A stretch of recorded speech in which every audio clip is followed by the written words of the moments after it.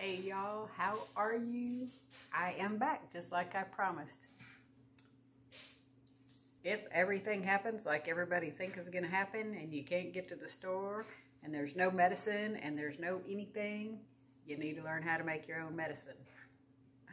So I want to show you this book real quick, real, real quick. This is Healing Herbal Infusions by Colleen Codekas. It is simple, effective homemade remedies for colds, muscle pain, upset stomach, stress, skin issues, and more.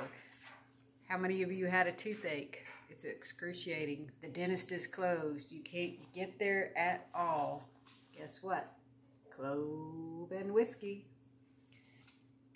It's a tincture for tooth pain. It's in here. Tells you how to do it. Also, there's one that I want to try. It's uh, Cocoa Mint Cracked Heel Balm.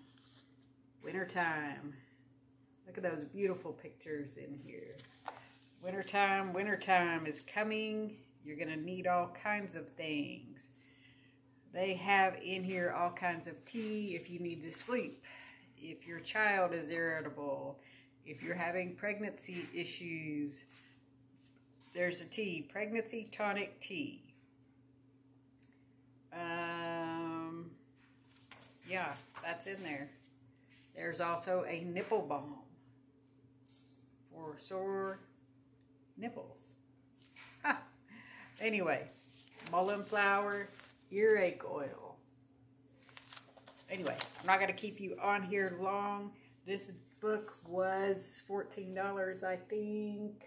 $13.99 on Amazon probably want to get this and add it to your library. Remember I told you you need a library. If we are without power or the grid goes down or any of these magical things that are going to happen, you can't get on the internet.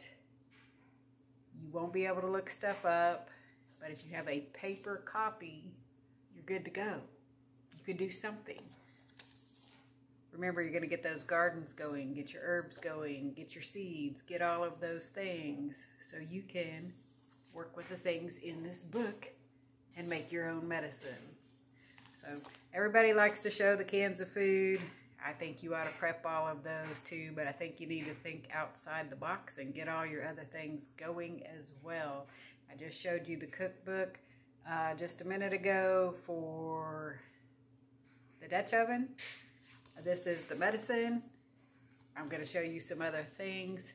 Stay with me. Please like, subscribe, comment so my videos can be found so I can give you more stuff.